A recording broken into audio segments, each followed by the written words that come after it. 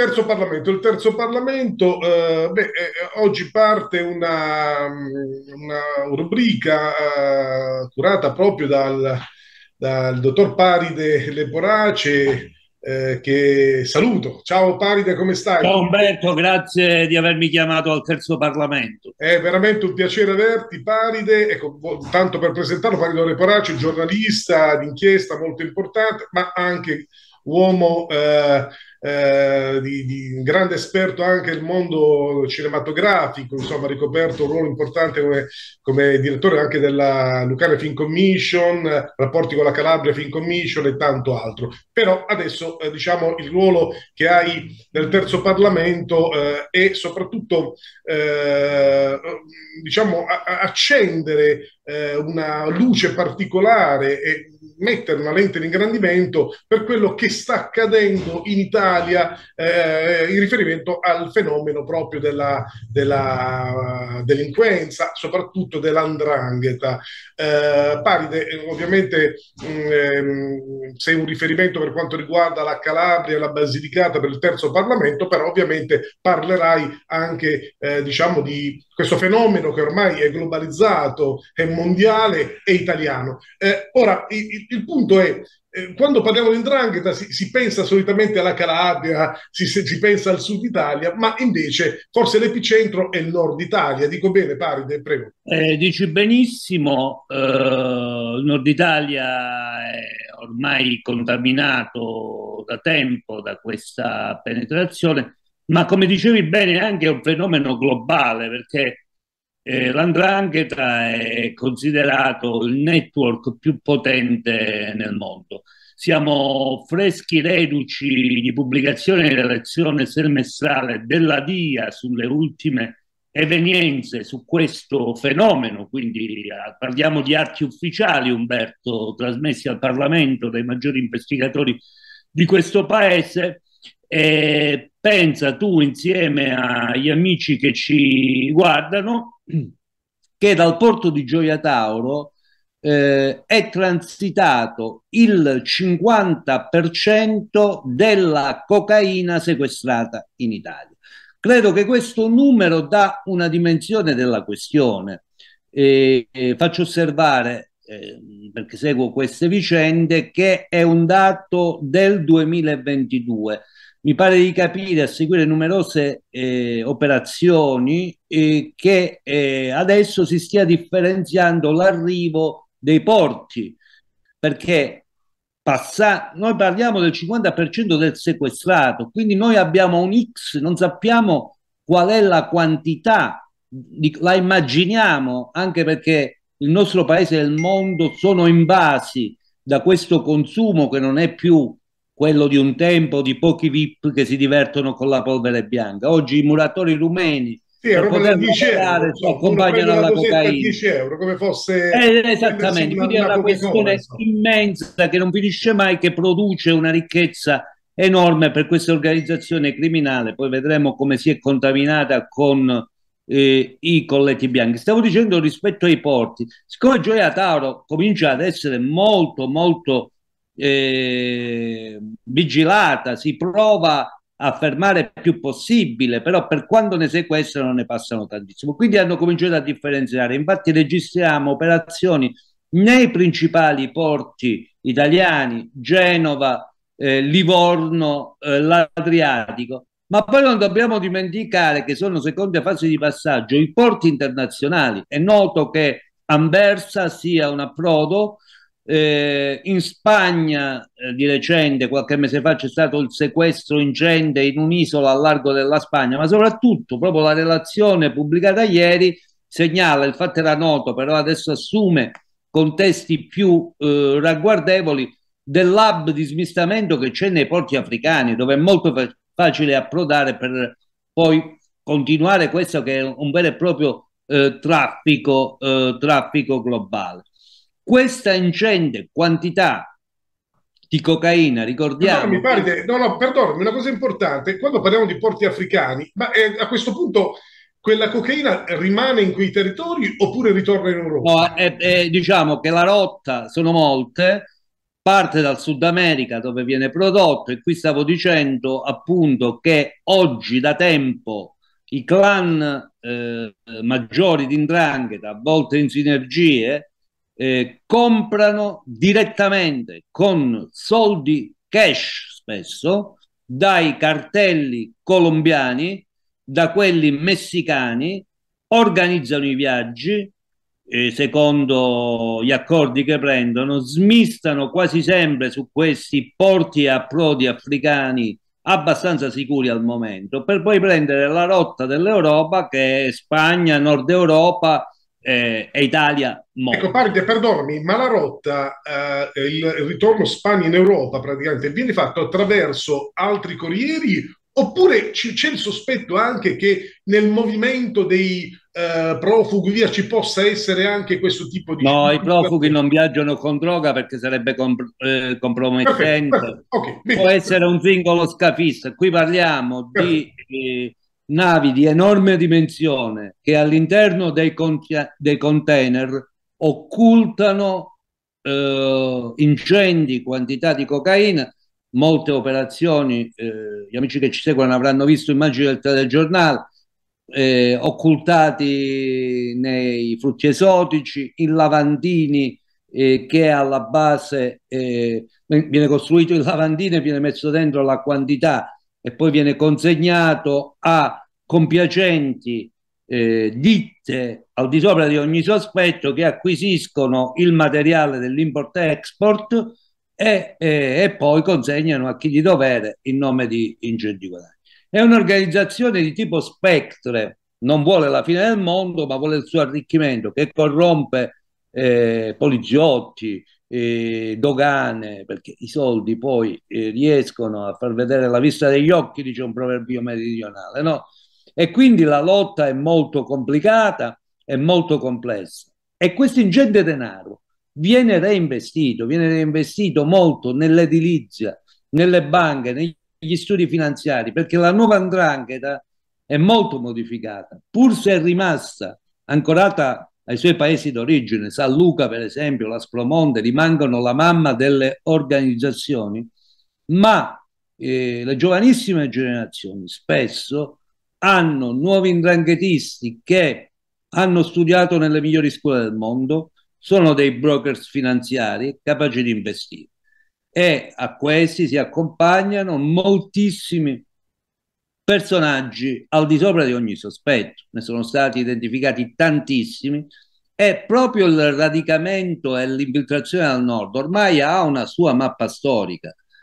L'andrangheta al nord arriva spesso per una politica che non si poteva sapere ma che era sbagliata di mandare al confino in paesini della Lombardia e del Piemonte soprattutto, ma anche del Trentino e di altre zone d'Italia, per dire noi ti colpiamo, non ti riusciamo a arrestare, ti mandiamo al confino in questo paese. Ebbene, quella è arrivata al paesello, ha costituito una società edilizia, si è chiamati i paesani, si è chiamati i parenti e oggi, appunto, per stare alla recente relazione DIA, anche questa volta, perché poi sono mutevoli, con, contiamo, ma a mio parere sono molto di più perché mi sto occupando molto della materia, di 29 locali di indrangheta eh, dislocati nel nord Italia. Io ritengo che dobbiamo spiegare come funziona la questione dell'andrangheta, che per lungo tempo rispetto a Cosa Nostra non se ne sapeva poco e niente, veniva identificata come quattro poveracci che nei propri paesi eh, avevano questa azione a delinquere.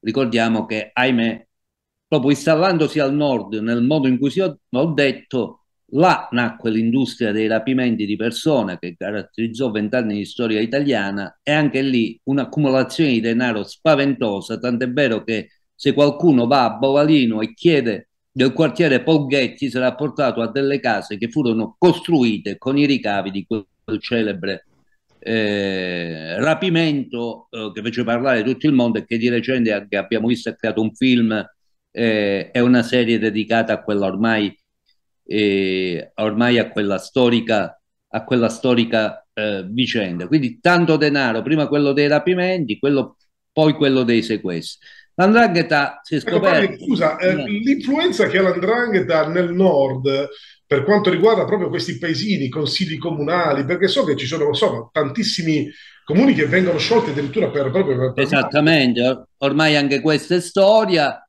eh, solo che viene dimenticata e quindi si pensa all'andrangheta solo una questione calabrese. Noi invece abbiamo comuni come Bardonecchia, un comune molto eh, importante legato al turismo, anche se di piccole dimensioni, Ventimiglia, eh, Las Lasas, un piccolissimo borgo del Trentino che però aveva del, ha del, dei giacimenti di porfido rosso molto pregiati che sono stati infiltrati dai clan e quindi in questi piccoli paesi dove poi la presenza di calabresi anche onesti, però per voto d'appartenenza territoriale falsa il gioco democratico e quindi questi 500, 700, 1000 voti a secondo della popolazione vanno a battere sul eh, percorso democratico di queste realtà completamente diverse da quelle meridionali che sono state contaminate. Però non è tutta responsabilità dei, dei politici, eh, scusa, dei, degli intrangheristi, perché ci sono tantissimi condannati in maniera definitiva, uomini di successo che hanno cercato questi eh, capibastone, questi uomini dal doppio agire per potersi assicurare questi pacchetti di voti. Oggi c'è un po' più di prudenza perché diciamo ne hanno pagato le conseguenze in molto, con lo scioglimento dei comuni, eh, dei comuni ma anche con condanne molto pesanti che vanno dai 6 ai 10 anni di personalità di un certo successo. E I fatti sono stati numerosi, alcuni non arrivano a verità giudiziaria per, perché è complicato. Anni fa in Piemonte ci fu la questione dell'interessamento sulle, prima, sulle primarie del Partito Democratico che videro l'influenza di assicurarsi il pacchetto di voti, alle primarie ancora più facile, eh, per potersi assicurare questo tipo di questioni. Guardi, perdonami, vorrei, volevo farti una domanda, anzi è una richiesta che ti faccio proprio magari per un'inchiesta futura.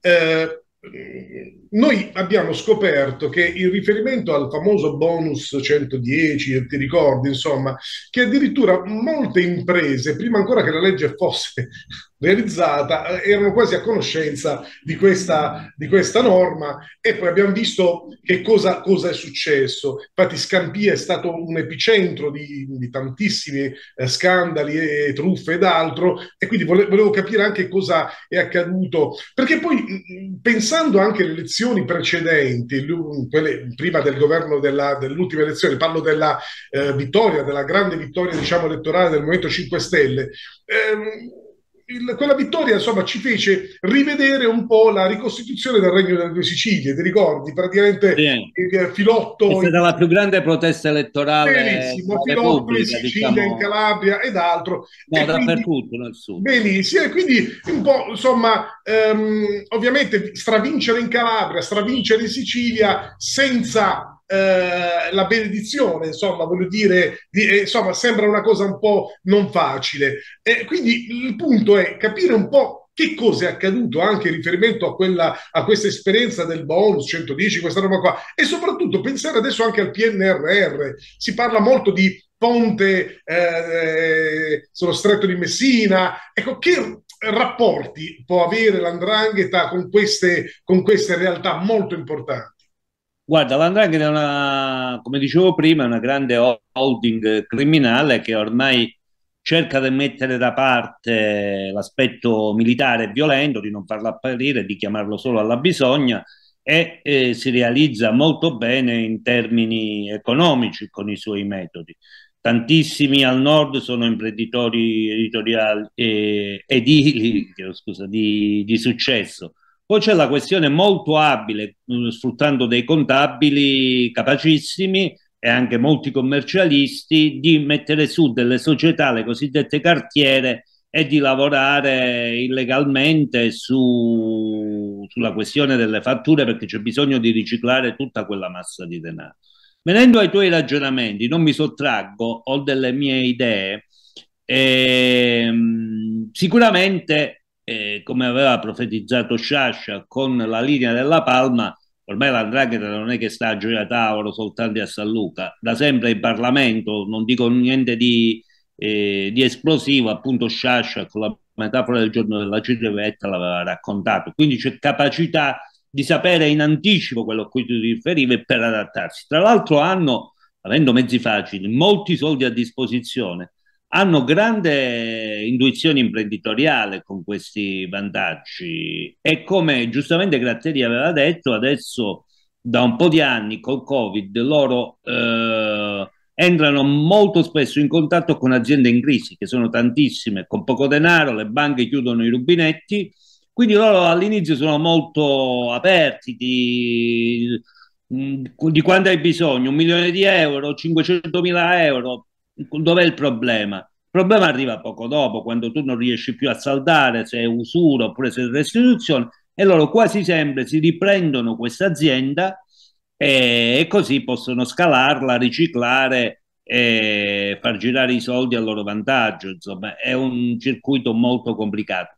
Rispetto al riferimento che facevi, mh, stiamo attenti a dire che se c'è stato un voto di massa nel sud fuori dai 5 Stelle, l'Andrangheta ha fatto votare i 5 Stelle non è in questi termini. No, no, no, eh, assolutamente. No, volevo, la, la, comprensione era, siccome c'è stato questo filotto, e che rapporto può aver avuto la, diciamo, queste organizzazioni con un plebiscito del genere? Allora, diciamo, se c'è una caratteristica che ha avuto il Movimento 5 Stelle è stato anche di essere, diciamo, manettaro e iperlegalitario. Infatti le poche formazioni di un movimento che non ha grandi strutture di partito, soprattutto nella fase iniziale, nella fase 2, oggi è un po' diverso, hanno molto poggiato su eh, strutture del territorio, di circoli che hanno fatto grande lavoro, soprattutto al nord, devo dire. Al nord ci sono delle storie in, incredibili. Nel paese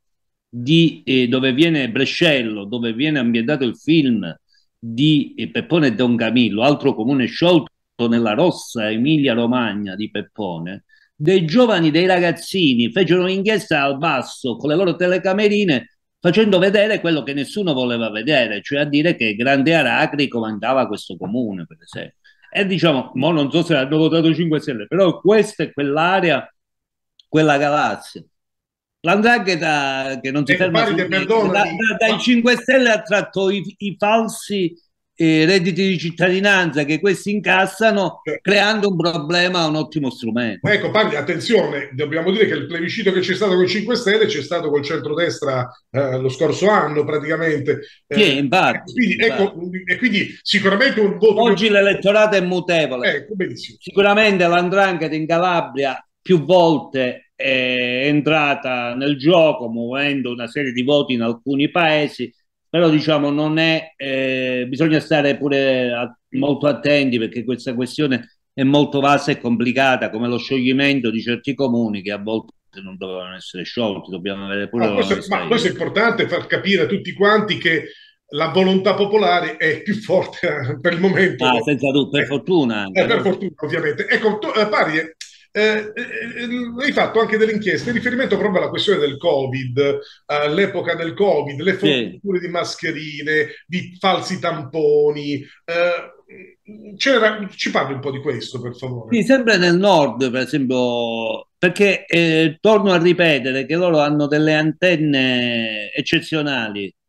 Eh, scopriamo il Covid, noi pensiamo a proteggerci, a fare volontariato, a chiedere misure, loro già erano già avanti eh, nel chiedere, nel trovare le mascherine, nel fornire tamponi. C'è un'inchiesta che per esempio è nata su dei tamponi contestati nell'ambito di una partita del Monza di Serie B che poi ha aperto tutto un mondo anche con retroscena incredibili in dettaglio nella zona di Milano.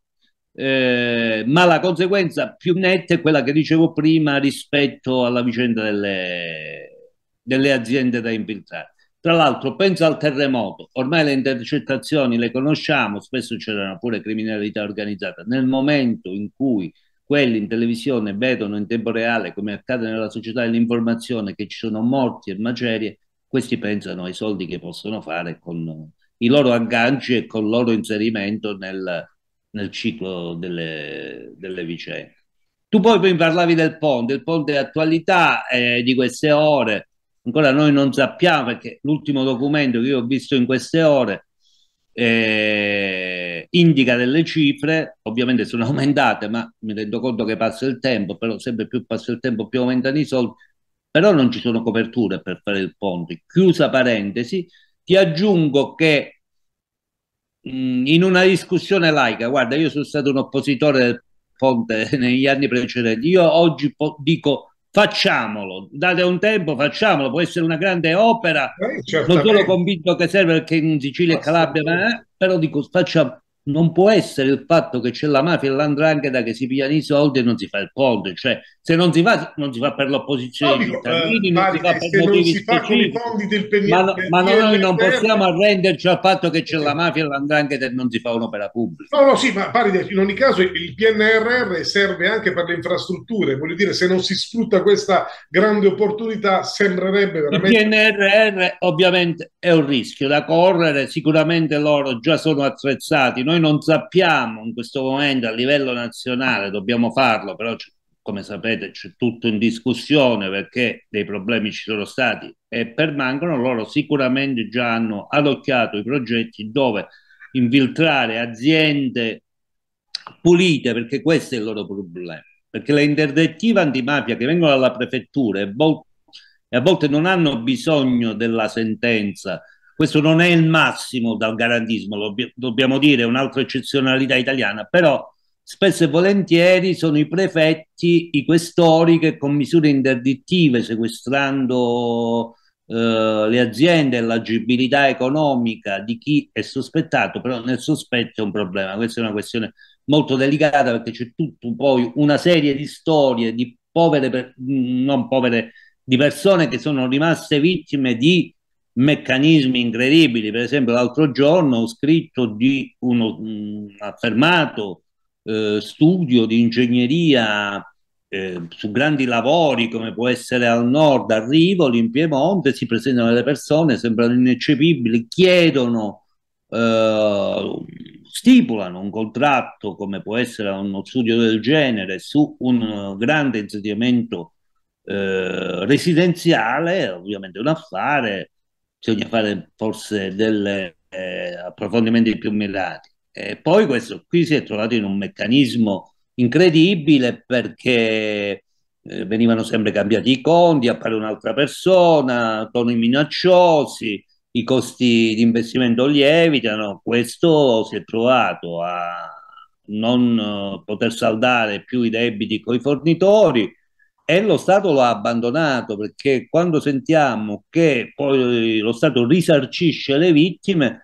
questo signore è andato da, dappertutto ormai, va eh, perché è una persona con una vita rovinata, eh, dalle Iene, striscia la notizia, ha raccontato la sua storia, eh, entro tre anni tu dovresti essere risarcito, questo signore non, non viene assolutamente risarcito. Certo, certo. Ecco, Paride, eh, in uno speciale fatto con Salvatore Borsellino, proprio che andrà in questi giorni, in riferimento alla famosa agenda rossa ehm, di suo fratello Paolo Borsellino, eh, Salvatore Borsellino ha, quando gli ho posto la domanda, beh, ok, ma dopo Messina Denaro cosa c'è in Sicilia? M- ci ha risposto chiaramente, ci sono i calabresi, è vero? È così. Eh eh, è da tempo perché l'andrangheta per lunghissimo tempo è stata capacissima di fare tutti questi soldi, di fare un sacco di danni, di fare un sacco di morti, perché i morti in Calabria, io mi ricordo essendo giornalista, quando eh, una volta è morto un bambino eh, in un agguato di mafia, i grandi giornali nazionali all'epoca davano 4-5 righe perché e so anche questo eh, nelle riunioni di redazioni di grandi giornali come Repubblica e Corriere della Sera, quando arrivava una notizia del genere, il commento del direttore che li guidava la riunione era ma della Calabria non importa più niente a nessuno. Ahimè è successo anche questo. Quindi loro hanno goduto di una eh, immersione totale nel mondo di cui per lungo tempo nessuno si è occupato. Poi man mano hanno cominciato a fare gli sbagli perché, ahimè, non posso dire per fortuna, su vicende molto tragiche commetti, commetti l'errore. E in particolar modo sono stati due episodi storici che hanno cambiato la percezione. Uno un po' dimenticato ma gravissimo, quando il vicepresidente del Consiglio regionale fu ucciso in un seggio del Partito Democratico alle primarie, con un chiaro segnale politico molto diretto e a quel punto anche la politica nazionale che diceva come i grandi giornali della Calabria che voi che importa se la vedono loro e allora là sono arrivati i grandi investigatori, i magistrati hanno avuto più attenzione, la stampa ha cominciato a cambiare opinione. Poi il grandissimo punto di svolta è quando si mostrano anche nella più tranquilla Germania, con la strage di Duisburg, in un ferragosto perché l'andrangheta sceglie per le sue stragi giorni di festa da far ricordare all'avversario, in questo sono incredibili. Ricorderete che eh, in un ristorante, mentre c'era un rito di affiliazione, all'improvviso l'Europa scopre che l'andrangheta è nel cuore della ricchissima Germania dove ha prosperato. E là sono cambiate molte cose, anche creando fastidio nei vecchi boss che sapevano come si faceva, le irruenze dei giovani boss uh, sfuggite di mano in questi conflitti che hanno avuto hanno iniziato, diciamo, in quella tragedia almeno c'è stata la dimensione di acquisizione del problema. Ecco, Paride, una domanda, ma, eh, ma a questo punto non sappiamo se poi c'è stato, insomma con Borsellino ne abbiamo parlato molto, lui ha un'idea ben precisa, eh, le stragi, famose stragi di Falcone, di Borsellino, quanto la mafia siciliana eh, veramente ci teneva questa cosa o se questa, diciamo, questi interventi sono interventi che sono arrivati da, a, a, diciamo, da altre volontà. Le ultime, motivazioni, ecco, le ultime che... motivazioni di sentenza lo dicono. Ecco, che, la mafia, che la mafia avesse nel mirino, nel Borsellino è chiaro, ma soprattutto su Borsellino che si siano addentrate delle vicende terribili, come al solito in Italia. C'è un dato inoppugnabile, caro Umberto. Noi per anni, mi tiro fuori perché feci un libro in tempi non sospetti dove si può andare a vedere che lo dicevo, abbiamo mandato degli innocenti come responsabili della strage di Via D'Amelio, che era una cosa che non si poteva credere, perché tu non puoi dare eh, ascolto a un presunto pentito che sta con un tossicodipendente transessuale. Già questo non sta nelle regole della mafia. L'aspetto tragico, oggi chiarito, ma che non tutti vedono, è che persone che non saranno stati fior di galantuomini hanno fatto anni di carcere al 41 bis, subendo anche eh, essere l'assassino di Borsellino di fronte a una guardia, insomma, vi lascio immaginare che significa. Ebbene, queste persone, fino a quando Spatuzza non ha aggiunto tasselli nella sua collaborazione, sono rimasti in carcere. E ci sono uomini dello Stato che hanno dei nomi e cognomi e dei nomi in codice ormai conosciuti, morti e premiati dallo Stato che hanno fatto questa bella operazione in combutta con dei magistrati. È accaduto anche questo. Ora, Paride, eh, hai sottolineato con eh, molta precisione insomma, quello che è accaduto nell'esperienza di Falcone e di Borsellino, però possiamo dire che la scelta di Totorina poi ha determinato la fine proprio della, del potere della mafia, anche nei rapporti probabilmente con la, con la Colombia, con il Sud America, insomma, e quindi eh, ha quasi ceduto insomma, la sovranità della, eh, della, del potere mafioso eh, in Sicilia all'andrangheta. Pensi che sia quello stato il, il bivio praticamente? Sì, sì, eh, condivido, è stato un, eh, è stato un grande autogol. Eh, non è stato lucido, preso dal, dall'essere accerchiato, l'escalation che parte dall'omicidio di Salvolime e arriva soprattutto alle stragi perché è in sequenza, dopo le stragi inizia il 41 bis, eh, li cominciano a indagare eh, veramente alcuni uomini dello Stato con delle contraddizioni perché eh, mi pare giusto, visto che stiamo rievocando questi fatti, abbiamo ritenuto Bruto Bruno Contrada, uno 007 di grandissimo valore, fatto anni di carcere, eh, c'è voluto del tempo per riabilitarlo. Guarda, io questa cosa Ma, ma, non ho bacchette magiche. Io lo chiamerei a... Bruno Tortora. Lo chiamerei ah, Bruno esatto, Tortora. Esatto. Andando a Palermo per eh, chiudere il mio libro ed avere informazioni di prima mano sulla storia dei magistrati uccisi, ho scritto un libro su tutti i 27 magistrati uccisi. E, e, parlando con il figlio del giudice Costa, un grande magistrato, una persona dell'antimafia, lui mi disse guarda che questa cosa di contrario, contrario dice, è quello che ha provato ad arrestare gli assassini di mio padre, dice, è, è tutto in Sicilia spesso la verità che vedi non è, non è, la verità, insomma, come in quel famoso film di John Ford, è la leggenda che prevale, però a volte è una leggenda molto tagliente e molto pericolosa. Beh, eh, parli, eh, concludiamo sempre con un film, Il gatto pardo, insomma. Alla fine...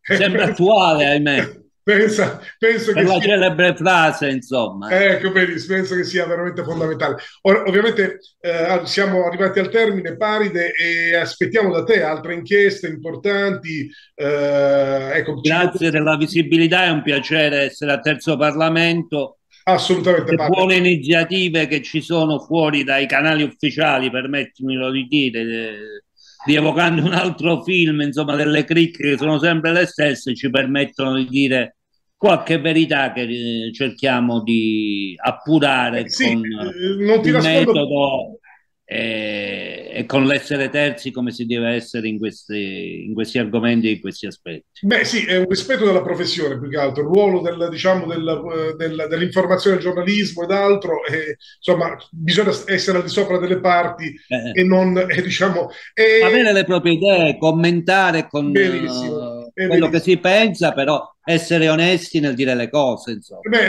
io le, le, ripeto, concludendo proprio una frase dell'onorevole Rizzo che dice: Ma in questa epoca probabilmente non c'è più, parliamo di Covid o di guerra, non c'è più bisogno di avere 100.000 televisioni, basta solo una televisione, un esatto. perché i titoli sono sempre tutti uguali, le informazioni sono sempre tutte uguali e questo è molto grave, è un segnale insomma un po' pericoloso onestamente.